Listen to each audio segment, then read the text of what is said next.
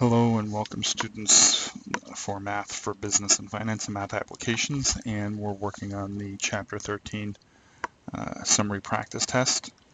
Now uh, just like in the drill problems and the word problems um, I included the ordinary annuity table, uh, the present value of an annuity table and the sinking fund table but I have a tendency more to rely upon the Business Math Handbook um, I'm going to use these tables uh, where necessary, but when I'm not able to use them, um, like for example, uh, the number of periods is off or um, the you know I end up with a half percentage, uh, I'm going to be uh, just referencing the factor in the business math handbook. So before I give the factor, you know, kind of pause the video and look up the factor to make sure that you know that you're doing it right so that when you um, hear or see me give the factor, you can say, okay, yeah, um, I had gotten it right. If you listen to me do the, give you, or watch me give you the factor first, then when you're looking in the tables, you'll have a tendency to be hunting mentally for that particular number and not really learning how to use the tables the correct way. So, um, you know, pause the video, look up the factor for yourself, and then uh, continue on with the video and do the calcs to see if you're right. Okay, so uh, summary practice test one. All right, let me get my pen. Come on, pen. There we go. All right, Lowe plans to deposit 1800 at the end of every six months for the next 15 years at 8% interest compounded semi-annually. So the payment is 1800 and it's every six months for the next 15 years. So that's 30 periods, right? Over 15 years.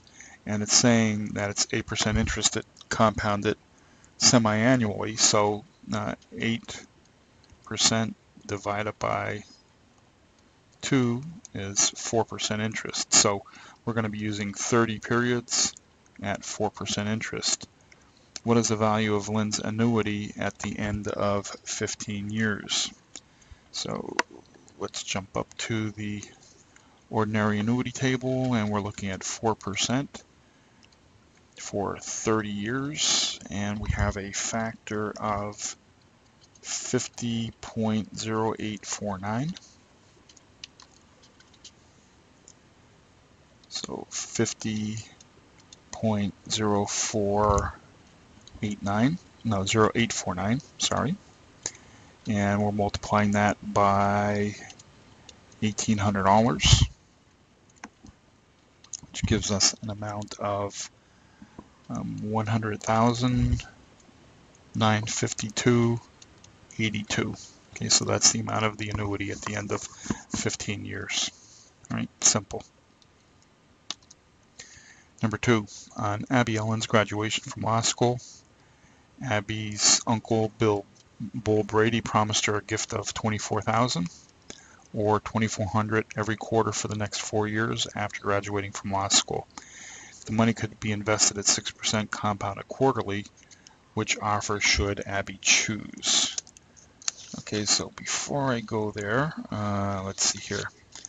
Yeah, um, go back and watch the word problem 13 23. Um, this is exactly the same as that particular word problem, okay? And in, the, in that, you know, we were able to do it in one of uh, two different ways, okay? So, let's see here. Um, we have 2400 is the payment every quarter for the next four years. So every quarter that's you know compounding quarterly. So four years is the time frame times four means 16 periods. And if it's compounded at 6% quarterly, okay, so it's 6% divided by 4, and that gives us 1.5%. Okay, so we can take the $2,400 and treat it like an ordinary annuity and say, okay, I have I don't have one and a half percent on this table, which means you have to use the one that's in the uh, business math handbook. Okay, so um, when you look that uh, factor up, the factor ends up being, um, let's see here, uh, ends up being 17.9323. So we multiply that by 2400 and we end up with 43,037.52. But remember that is um, a uh, a future value, okay? And we need to look at the uh, table 12 point, let me look, look it up here, uh, 12.3, right?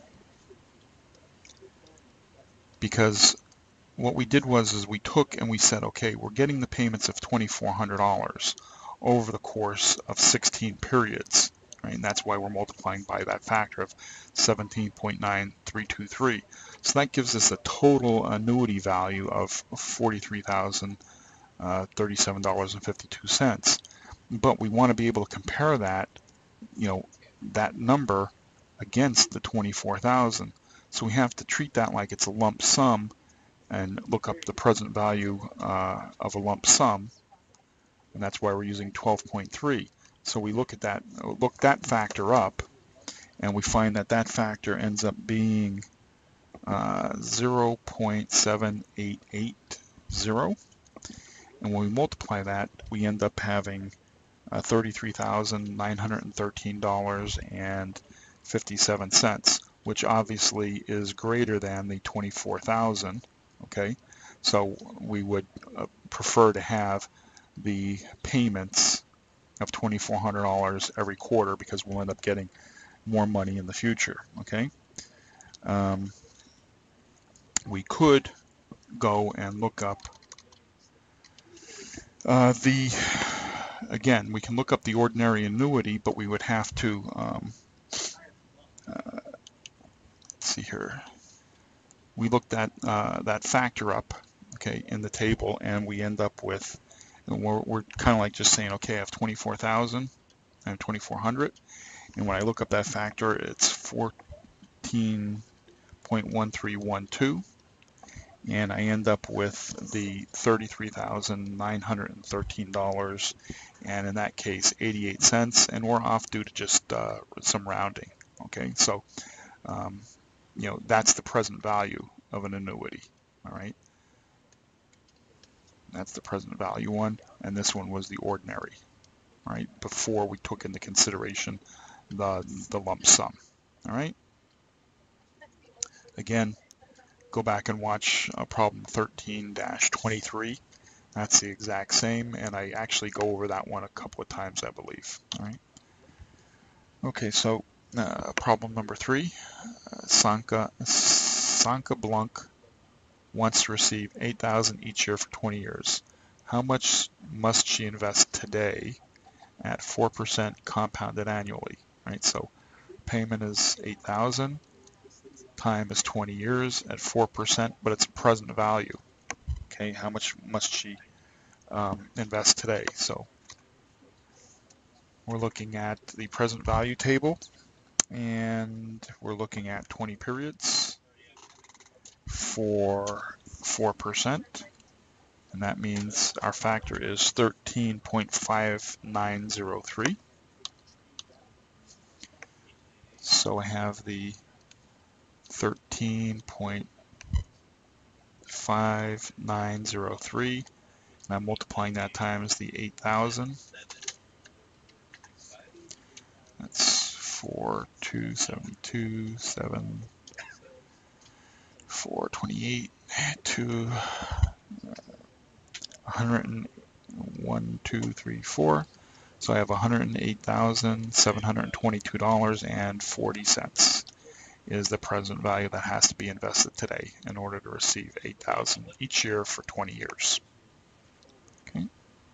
Right, with that I'm going to stop right now because we're at a 10 minute mark and we'll pick up with question four in the next uh, video.